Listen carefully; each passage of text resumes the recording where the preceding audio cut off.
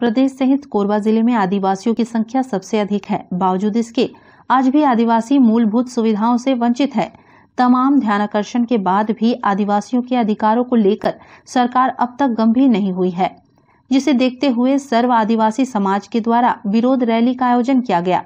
बुधवारी बाज़ार स्थित आदिवासी शक्तिपीठ से कलेक्टोरेट तक रैली निकालकर जिला प्रशासन को ज्ञापन सौंपा।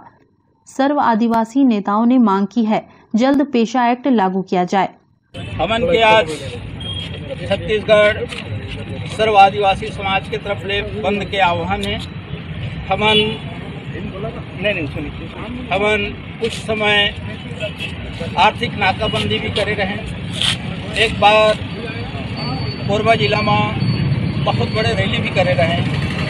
आज हमन के मांग है, आप जाना था कोरबा जिला जो है, पेशा कानून के अंतर्गत आते और आज पेशा कानून है लेकिन पूर्णतः पालन नहीं किए जाते। हमारे साथ बहुत बड़े अन्याय होते। आज आदिवासी मन के ज़मीन में खनिज न्यास भरपूर मात्रा में है। हमन आज बहुत ही कम राशि दे के अलग कर दिए जाते। हैं हमन के मांग है कि हमन शेयर होल्डर बनाया जाए ताकि हमारे आने वाली पीढ़ी होकर से जीवन यापन कर सके। का है कि आज हमन एक बार की थोड़ा से पैसा ले लेते ओकर बाद हमारे बाल बच्चा भूखे प्यासे रह जाते। सबसे बड़े बात तो मैं ये कहना चाहिए कि मिसल संबंधी में हमें तो बहुत बड़े आने वाला समय में नुकसान है।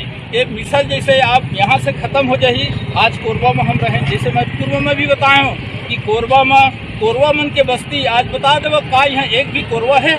एक भी कोरबा नहीं है। वैसे हम दहशत फैल चुके हैं आदिवासी मल्ला कि एमन कभी भी हम छत्तीसगढ़ का पूरा देश से बाहर कर सकते हैं। हम चाहते हैं कि जौन यहाँ आउटसोर्सिंग के आदमी मन यहाँ भरपूर मात्रा में आउटसोर्सिंग के आदमी मन यहाँ राज करते हैं, वो आउटसोर्सिंग के आदमी मन हमला यहाँ से हटाए नहीं चाहिए तब तक हमन के कोई सत्ता वापस नहीं आए। आज मन जाना तो कि सिगलेर कांड घला में आदिवासी मन मारे गिस अब आज ओकर पर कोई भी पहल नहीं किए जाते।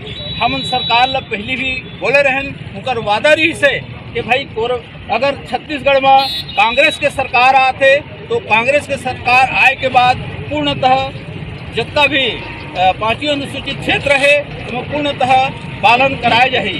आज आप देखा हो जंगल में आदिवासी बसे हुए हैं सेमन हाथी के बदौलत भी मर जाते हैं। सर्व आदिवासी समाज ओर से संवैधानिक अधिकारों को मांग के लेके नौ प्रकार के नौ सूत्री मांग किया गया है। है ना तो जिसमें बहुत सारे हैं इनके, जैसे पेशा कानून सिलेगर गोलीकांड के हत्यारों को मतलब जिनकी हत्या हुई उस गोलीकांड में, उनको शासन की ओर से मुआवजा दिया जाए, इस टाइप से नौ प्रकार की मांग रखे गई तो इनकी ज्ञापन मेरे को सुपुर्द किए हैं सौंपे हैं इन लोग अभी। तो इसको मैं कलेक्टर मैडम के माध्यम से हम जिला शासन छत्तीसगढ़ शासन मीडिया फॉर सपोर्ट के लिए ममता साहू के साथ रामकुमार यादव की रिपोर्ट।